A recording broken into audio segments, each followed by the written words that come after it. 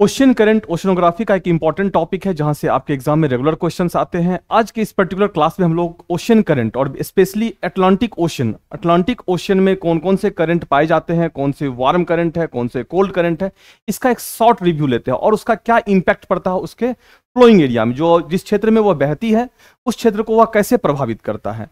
आइए देखते हैं क्या है यह।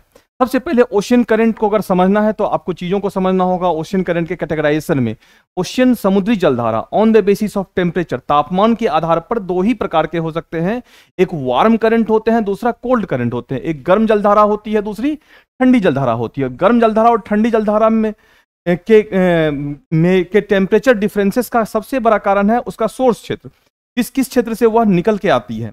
जैसे आप देखेंगे अगर कोई जलधारा उच्च अक्षांश से हाइयर लेटीट्यूड से लोअर लेटीट्यूड की ओर चलती है, अर्थात वह पोल से इक्वेटर टुवार्ड्स चलती है तो ऑब्वियस ही बात यह ठंडे क्षेत्र से आती है तो इसका टेम्परेचर क्या होगा? यह ठंडा होगा, और यह कोल्ड करंट के कैटेगरी में होगा। यह कैसी जलधारा होगी? या ठंडी जलधारा होगी। और अगर कोई जलधारा, अगर कोई ओशियन करंट वह निम्न अक्षांश से उच्च अक्षांश की ओर, ये ज़ीरो डिग्री है ज़ीरो डिग्री से पोल टुवार्ड्स अगर जाती है, वह क्या होगी? वह वार्म करंट होगी। ऑब्वियस ही बात है कोल्ड करंट और वार्म करंट का इफ़ेक्ट भी अलग अलग होगा, जो जलवायविक प्रभाव होंगे, उसके वह भी क्या होंगे? अलग अलग होंगे। कोल्ड करंट ठंडी जलधारा जहाँ जाएगी, वहाँ अपने आसपास के क्षेत्र के टेम्परेचर को क्या करेगी? वह कम करेगी। टेम्परेचर कम होगा तो वह क्या होगा? एंटी साइक्लोनिक कंडीशन हवाएँ ठंडी होगी, भारी होगी, नीचे बैठेगी, प्रति चक्रवात दशा, और वर्षा नहीं होगी। मीन्स वर्षा की संभावना यहाँ कम होगी वर्षा सूखा के लिए रेस्पॉन्सिबल होगा। अर्थात डेजर्ट डेजर्टिफिकेशन मरुस्थल के लिए रेस्पॉन्सिबल होगा, जबकि वार्म करंट जहाँ जहाँ जाएगी, वहाँ की हवा गर्म होगी, हल्की होगी, ऊपर जाएगी और कंडेंस होकर क्या करेगी? वर्षा लाएगी। तो वार्म करंट फ्लोइंग एरिया अपने फ्लोइंग क्षेत्र में वार्म इफ़ेक्ट होगा और कोल्ड करंट फ्लोइंग एरिया अपने क्षेत्र में कोल्ड इफ़ेक्ट वार्म इफ़ेक्ट का सीधा संबंध वर्षा से है कोल्ड इफ़ेक्ट का सीधा संबंध क्या है? वर्षा नहीं होने से है। तो आइए देखते हैं इसका डिस्ट्रीब्यूशन एटलांटिक ओशियन में क्या है और कितने करंट पाए जाते हैं? और फिर अगले सीरीज़ में हम लोग पैसिफिक और इंडियन ओशियन को देखेंगे। और फिर इस तरह से हम लोग ज्योग्राफी के छोटे छोटे टॉपिक जो आपके एग्ज़ाम पॉइंट ऑफ़ व्यू से इंपॉर्टेंट है, उसको हम लोग डिस्कस करें। क्योंकि ये आप लोगों का डिमांड था, सर, इस पर एक छोटा सा वीडियो से ये कर देंगे तो हम लोगों के लिए आसान हो जाएगा। और एग्ज़ाम पॉइंट ऑफ़ व्यू तो बहुत इंपॉर्टेंट सेक्शन है ये। अब आइए देखते हैं एटलांटिक ओशन ऑब्वियस ही बात है एटलांटिक ओशन का अगर लोकेशन देखेंगे, यह आपको नॉर्थ अमेरिका दिख रहा होगा। यह साउथ अमेरिका है, यह अफ्रीका है और यह क्या है, यूरोप है। इस चार कॉन्टिनेंट के बीच ही अटलांटिक ओशन का यह सेप आपको दिख रहा होगा, जो एस सेप में है।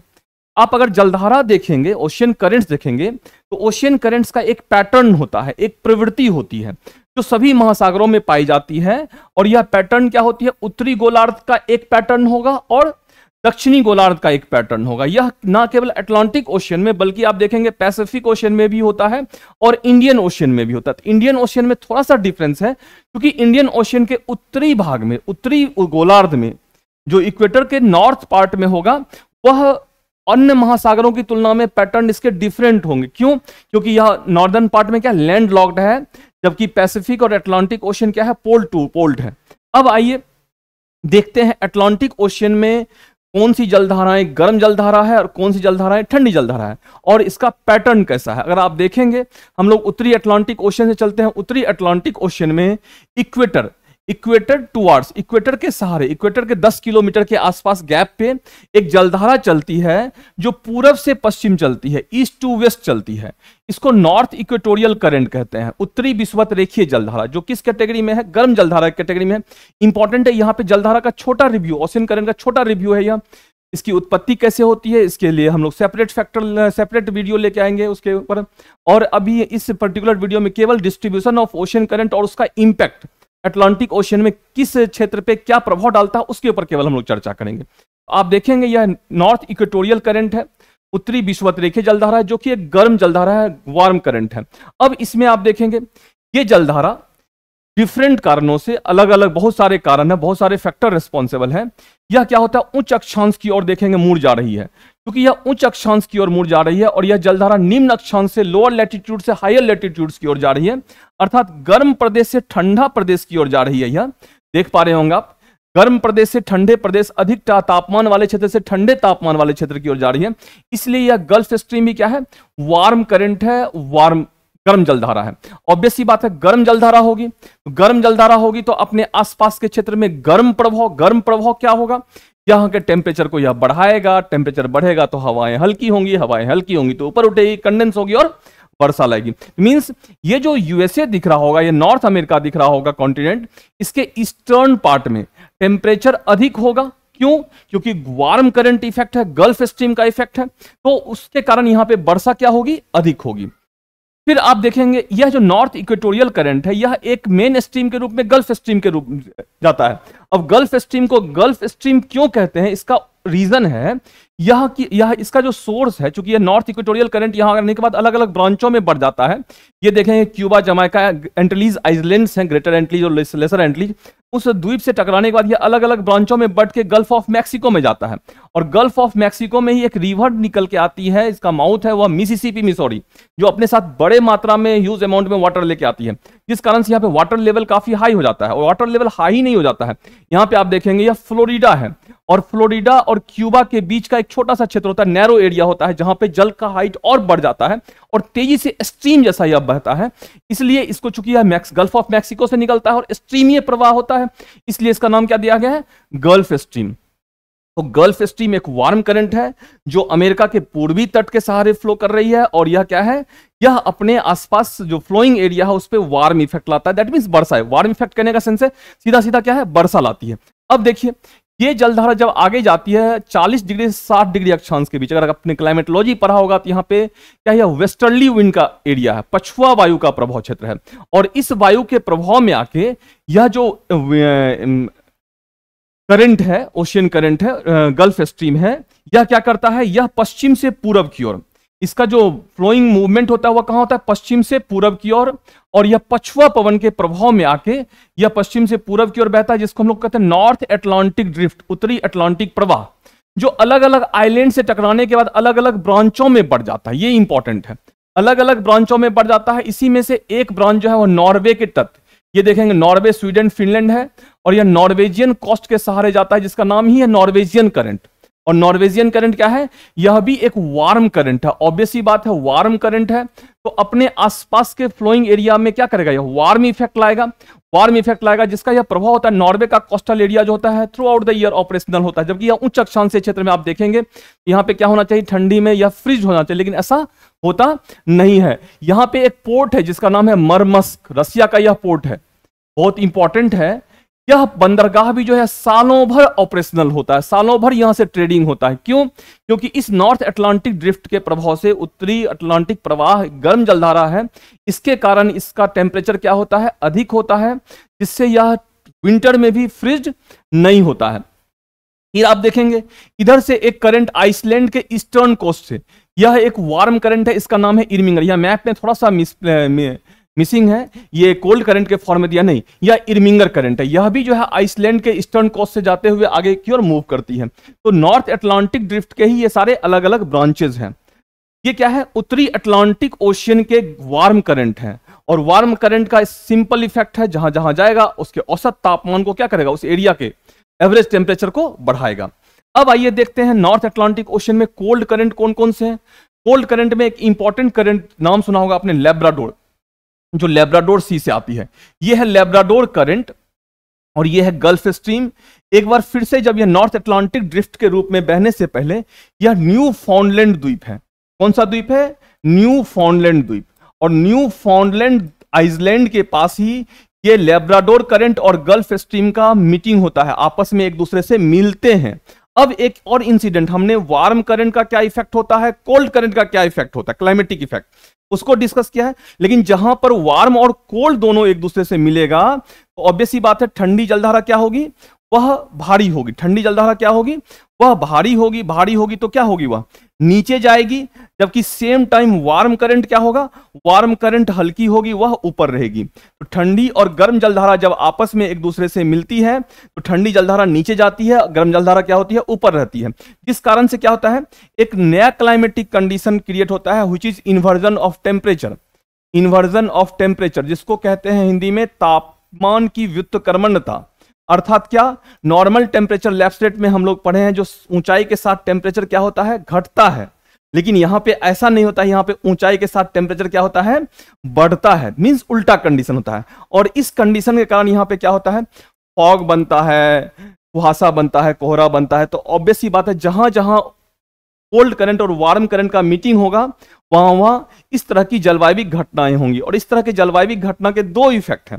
पहला कुहासा बनेगा तो यह कुहासा वाला क्लाइमेटिक कंडीशन जो है प्लैंकटन प्लैंकटन वनस्पति जो है प्लैंकटन के लिए बड़ा ही अप्रोप्रिएट जलवायविक दशा का निर्माण करता है यह, क्योंकि प्लैंकटन बनता है, यह ओशन का प्राइमरी प्रोड्यूसर है, वनस्पति है यह तो इसके ऊपर निर्भर बहुत सारे ऑर्गेनिजम्स होते हैं। उसी में से एक मछली फ़िश है, मछलियाँ हैं तो यहाँ पे क्या होता है, यह फिशिंग पॉइंट होता है इंपॉर्टेंट फिशिंग जोन होता है। जहाँ जहाँ वार्म करंट और कोल्ड करंट आपस में मिलेगा मीटिंग प्लेस होगा, वह एरिया क्या होगा मत्स्य के लिए फिशिंग के लिए बहुत इंपॉर्टेंट एरिया होगा।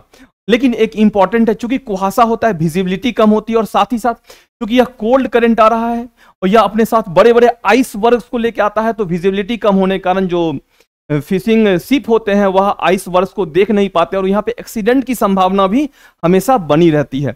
यही वह स्थान है जब टाइटेनिक जो कि यूके से चला था और न्यू फॉन्डलैंड के पास आकर के क्या हुआ था वह डूबा था एक्सीडेंट हुआ था उसका तो उसके पीछे रिस्पॉन्सिबल यह लेब्राडोर करंट ही था। तो आप लोगों ने समझा होगा लेब्राडोर करंट का क्या कहानी है? लेब्राडोर करंट क्यों फ़ेमस है? लेब्राडोर करंट किस कैटेगरी में आता है? यह कोल्ड करंट की कैटेगरी में आता है। अटलांटिक महासागर का यह इंपॉर्टेंट करंट है, जो क्या है? यह कोल्ड करंट के। एक और कोल्ड करंट है, जो ग्रीनलैंड के पूर्वी भाग ये देखिए ग्रीनलैंड है। ग्रीनलैंड द्वीप के पूर्वी भाग से आकर के यह नॉर्थ अटलांटिक ड्रिफ्ट से मिलता है यह पूरा का पूरा एरिया जो देखेंगे आप, यह क्या है? फिशिंग एरिया है और यह अमेरिका के साइड भी और यूरोप के साइड भी। उसके दो इंपॉर्टेंट जो world important world famous fishing area है, डॉगर बैंक और ग्रैंड बैंक यहीं पे है। अब क्योंकि ये दोनों जो है, दोनों ग्रीनलैंड करंट और लेब्राडोर करंट कोल्ड करंट है और नॉर्थ अटलांटिक ड्रिफ्ट क्या है? वार्म करंट है। फिर इसी का एक जो ब्रांच है, वह क्या होता है? वह निम्न अक्षांश की ओर मुड़ जाता है, जिसको कैनाडी की जलधारा कहते हैं। और कैनाडी करंट कैसी करंट होगी? चूँकि यह उच्च अक्षांश से निम्न अक्षांश की ओर जा रही है हाइयर लेटीट्यूड से लोअर लेटीट्यूड को मूव कर रही है तो ऑब्वियस बात है, यह क्या होगा? कोल्ड करंट होगा। और कोल्ड करंट होगा तो कोल्ड इफ़ेक्ट कोल्ड इफ़ेक्ट होगा तो टेम्परेचर कम होगी, वर्षा नहीं होगी मीन्स क्या होगा एंटी साइक्लोनिक कंडीशन और लेस रेनफॉल के लिए रेस्पॉन्सिबल है। इस एरिया में अफ्रीका के इस क्षेत्र में देखेंगे सहारा डेजर्ट इस डेजर्टिफिकेशन के लिए एक बहुत सारे फैक्टर में एक फैक्टर यह कोल्ड करंट भी है।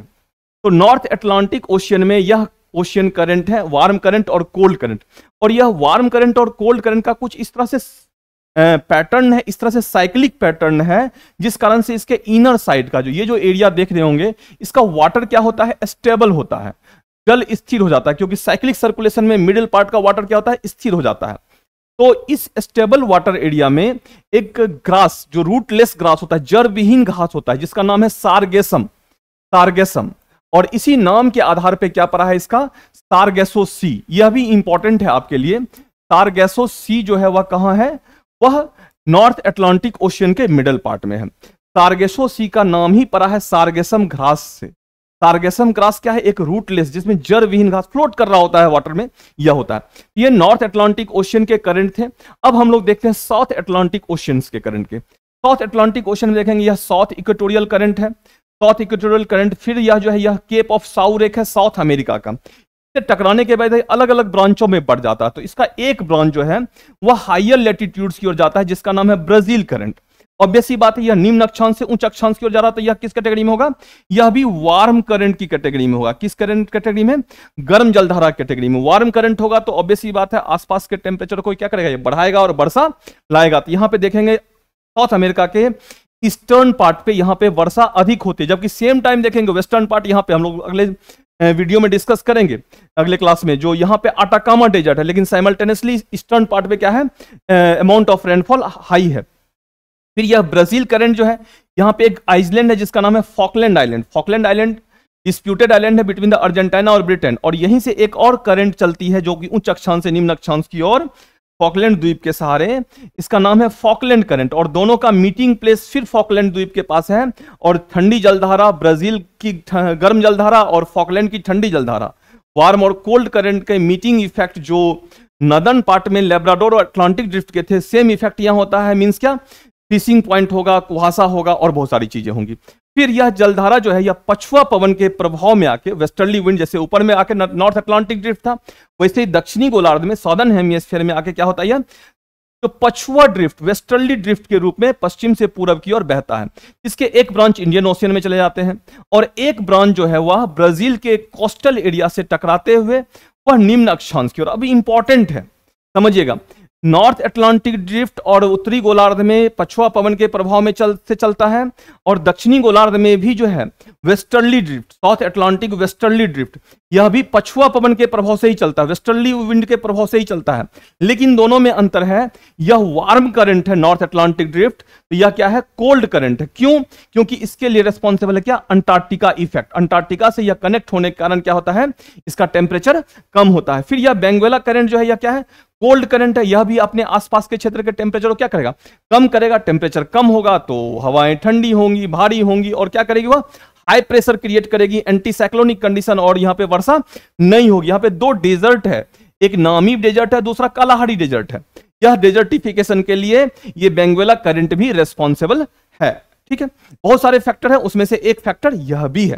तो अटलांटिक ओशियन में चूँकि नंबर ऑफ़ करेंट्स अधिक हैं, और यहाँ से और करंट का क्या क्या एक स्पेसिफिक पैटर्न है। In both of the hemisphere उत्तरी गोलार्ध और दक्षिणी गोलार्ध दोनों में। इसलिए यहाँ से नम क्वेश्चन जनरली देखेंगे रेगुलर पूछा जाता है।